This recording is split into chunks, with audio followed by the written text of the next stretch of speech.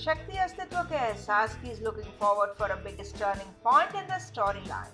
Surbhi to hand over her child to Soumya and Harman, where soon Soumya's Kinner identity will get exposed to Nani. Nani will refuse to accept Soumya and Harman's relation. Surbhi will take a big decision. After Harman and Soumya have completed Santan Prapti Yagna, Surbhi decides to leave with Soumya as Shanno claims that Soumya is a bad omen for her coming child. Soumya and Harman are missing Aditya, where Soumya eagerly wants her son Aditya back. Surbhi gets teary-eyed seeing Soumya and thus she decides to child to child to Soumya as Soumya's prayers only save Surbhi's child. It will be highly intense to watch how Surbhi's big step will bring a big change in the storyline. So what do you feel about this? Keep watching our channel TV Prime Time for more such exciting updates and upcoming twists.